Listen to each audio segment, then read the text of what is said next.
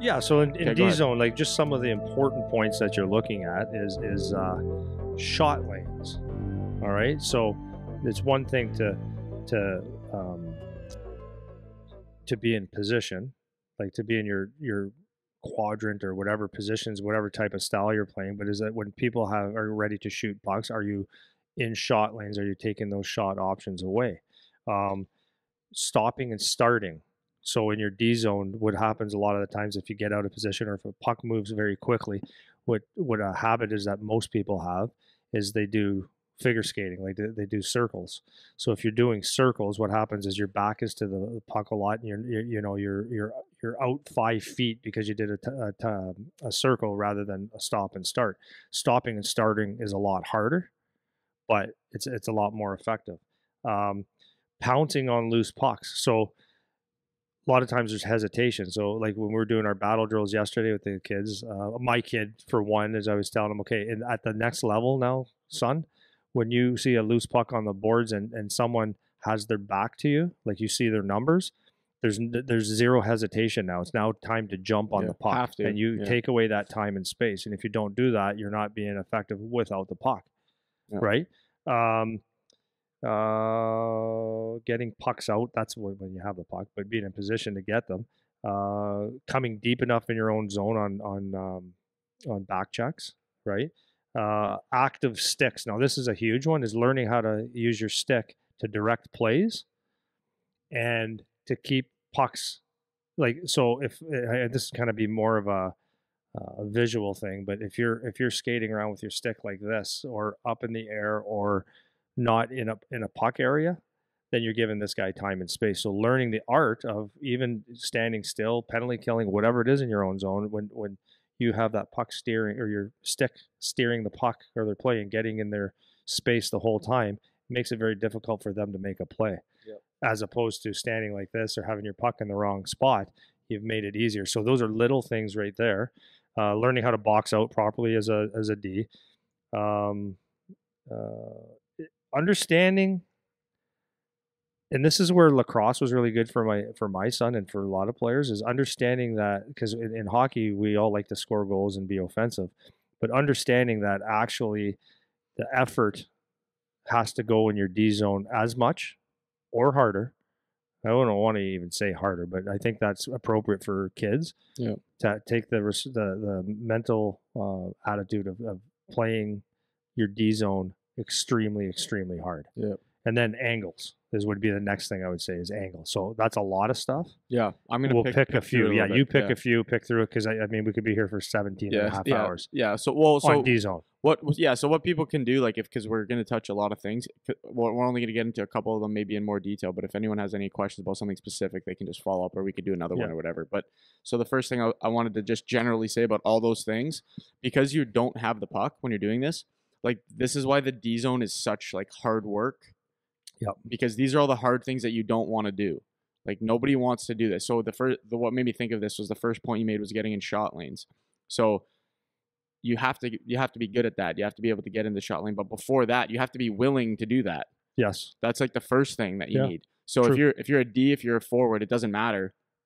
You have to know that I have to get in in the shot lane because that is what's going to give make the like take away this guy's option to shoot, help out the goalie, help out what or for whatever reason, whether you're going out to the corner or whatever. You need to you need to get into a shot lane because that's helping the team out. Yes. That- and and you have to be willing to do that. yes. And To get to a higher level yeah, and or so to stay there. Right. And so when you're a younger kid, especially, it's scary to go get into a shot lane because the puck hurts, man. It could crack your can foot. Yeah, yeah. it can. You can get hurt doing that. So this is another thing where, for guys that if you don't have a good coach who's who teaches you how to do this properly or how to get out into a shot, you can watch someone look up highlights of somebody that is really good at getting into shot lanes. Yeah. I don't know if you have anyone on on top of your head that's really good at it. It doesn't I, matter I, I can't think of yeah, it anybody doesn't, right it doesn't matter. But find someone who's very good at that, and there's a bunch of guys. I just can't think of one off the top of my head, but Yeah. guys that are good at going out, getting in the shot lane, getting big, and watch how many shots they block, and they're not getting hurt. Right? It's not like they're. You could get hurt, Yeah. and that's something that you have to be willing to to take on. You might take one off the foot, and it might hurt. Yeah. Right. But that's just part of the job, especially especially for me because I was I played wing a lot, and you're going out and you have to get in front of those the D big D men that are gonna T one up, man. And like you got to eat it, and that's Yeah. just part of your job. Yeah. And that's something that you need to be willing to do. Yeah. And it's like that for for all those things that you just pointed out, whether it's um, getting like taking good angles, or you can't be just thinking offense. And this Right. is the biggest thing that I think for the young kids coming up before they understand, we talk about this a lot, like getting into roles and having a role for yourself. Before they understand the importance of that, you're always thinking offense. Like you're always thinking, get the puck to get it out so we can go score. Yeah. And that is always like the mental framing that especially young guys have when they're just starting because everyone just wants to go score, like you're saying. But you have to be able to dial that back and all those things you just listed, starting, I think more of it in terms of forward because I was a forward. But for a D, having a good active stick, like that's a huge thing to be good at if you're a D. Not that it's not as important if you're a forward because it is, but especially as a D when pucks are down low, Yeah. just having a good stick. Yeah. You watch the the, thing that's pop pops in my head thinking about is if you watch a penalty kill, when the puck is down low, watching the how the active the D are, when they they can't go force. Yeah.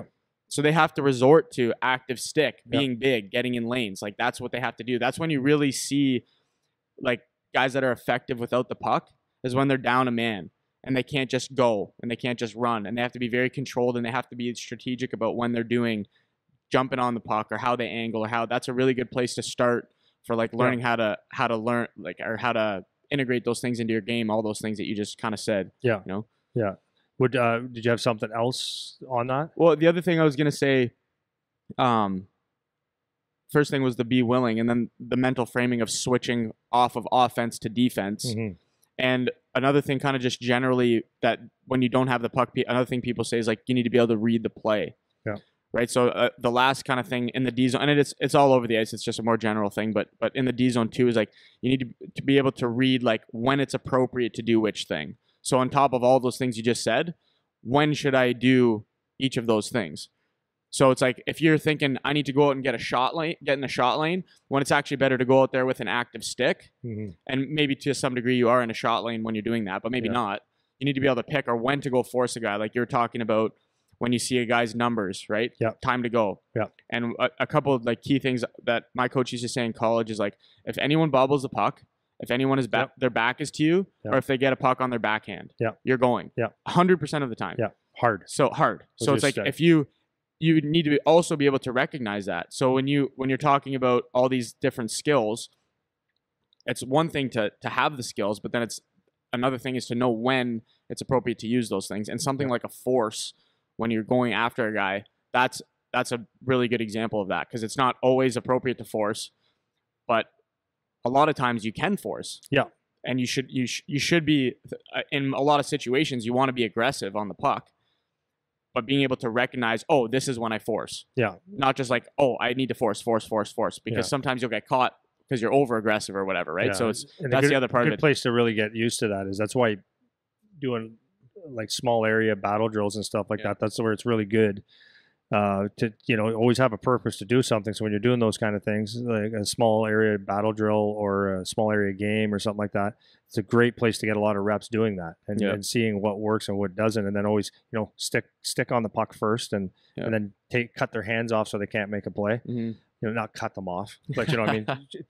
Angle your body so Yeah. that they they can't make a play, and you, your stick is always on the ice to knock pucks away. 'Cause a lot of guys are going, you know, and, and uh, once they hit the bantam levels, a lot of guys will go in there. They do a really good job forcing someone, but they go and hit, take the body, and their sticks up in the air. But they're the guy you're playing against, sticks still still on the ice, can still make a play. So you want to take cut the hands off, take the take the uh, puck away from their stick, then you could finish a check. Yeah, uh? I think maybe the last thing before you go to the neutral zone, I think, uh, if I, I don't know if you agree with this, but I just thinking talking about it now, I think a good place to start with like D zone away from the puck play is if you watch penalty kills.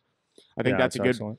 That's probably even better than, uh, not that it's better, but if you re- to get a really like clear visual of these away from the puck skills in the D zone, I feel like the penalty kill would be a good place to start to watch. So something you can do if you're a kid is wh- whatever position you are, if you're a winger or you're a forward or you're a D, watch some penalty kill highlights and like just watch what the D do or watch what the forward is doing. Yeah. Because all that, uh, everything you just said there too, like hitting with their stick on the ice so you can get the puck out, like all that stuff is more dialed in on the penalty kill because you're short a guy. Yeah, it's true. It's So a everyone- good point. And you you, know can what I just see mean? guys pouncing on pucks. Exactly, and you they're know, very get- careful. getting it off the glass, different things Yeah. like that, just to get it out. So that's probably a good place to start.